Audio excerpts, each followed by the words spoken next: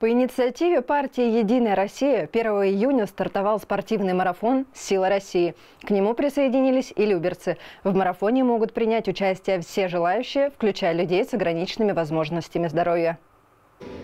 На инклюзивные тренировки в рамках спортивного марафона «Сила России» в Люберцах пришли более 30 человек. На площадке они представляют настольный теннис, бадминтон, баскетбол и общую физическую подготовку. Конечная цель – привлечь людей с ограниченными возможностями к здоровому образу жизни, к занятиям спортом. Люди стремятся жить полноценной жизнью, несмотря на то, что у них есть определенные проблемы со здоровьем. Александр Чувашев, капитан люберецкой команды по баскетболу на колясках, кандидат в мастера спорта. В этом году команда «Триумф» приняла участие в баскетбольной лиге сильных людей и вышла в финал. Ну, это пока единственный. К сожалению, сейчас мало очень удается а, выезжать.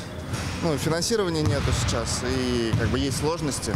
Вот, поэтому пока такой один турнир у нас в этом году. Мы сейчас ищем э, людей в команду, то есть нам нужны ребята с ампутациями, с травмами позвоночника, с травмами пода, даже с ДЦП возможно, то есть чтобы к нам приходили в команду просто заниматься. Марафон «Сила России» завершится в День физкультурника 12 августа, но новых участников команд в Люберцах ждут всегда.